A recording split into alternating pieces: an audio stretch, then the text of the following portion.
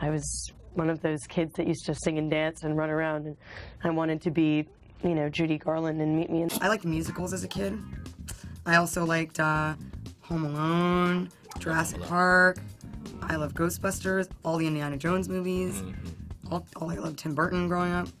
I love I watched tons of movies. I never put on a sexy face, so I don't know. I don't know. Um, you know, I don't know what it means to be uh, to act seductive. I, How tall are you? I'm five. Well, I would say five four on a good day. No, you are. all my dreams, I'm sure if you analyze them, are filled with anxiety all the time because even in my regular life, I may be very relaxed, but apparently in my subconscious, I'm dying to get things done. Every time a dentist tells me I just change and get a new dentist and they, yeah um, some I, I don't I don't do any of that social networking stuff I don't know I don't know the idea of it just it baffles me I, I it seems day. a little it's like too much con- I don't like that kind of connection it's too connected uh, and No, I've got to throw my phone into the river. I I get so sick of it. I hate the noise and being constantly. Sometimes I'm just like, oh, I, I can't, and I have. I mean, I've always been very sensitive to all, all kinds of things around me. It's wonderful. It's nice to sort of travel undercover sometimes.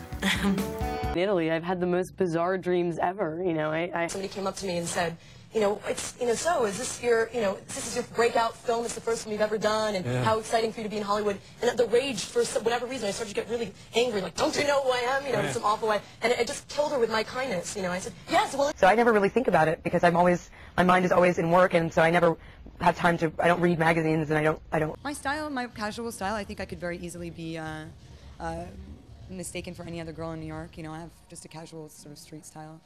You know, in my actual life, I'm not particularly glamorous. I don't live a very big, grand lifestyle. You know. Do I like to cook I like to bake and uh, Are you a good cook? um, I think I'm an all right cook Yeah. but I guess everybody does but- Italian? Yeah, is what we have.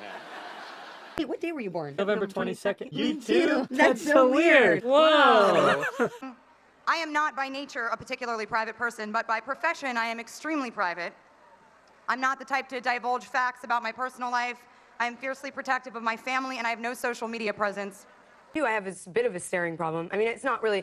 It's just only occasionally. Right, right. You mean if someone, it's not a problem necessarily, but, It's like if somebody's staring at me, I can't help but notice how they're staring. Right. It's the way people stare, like how they try not to stare, but they do. And I become so infatuated with how they're staring that it blows my cover completely. Because I don't. I know that I should probably be more patient than I am with things, but I don't like to be patient because I feel like you should strike while the iron's hot and get things going. I mean, nobody advocates for you like you do for yourself. You know, if you you kind of get left by the you know by the wayside unless you keep pushing forward. And um, but I'm sure there's times when I am impatient, um, and I guess that's something that you know is a virtue that I'll just try to keep reminding myself of and trying to remind myself to be compassionate and those things. But What I'm learning is that with every gain, there's a loss, and with every loss, there's a gain.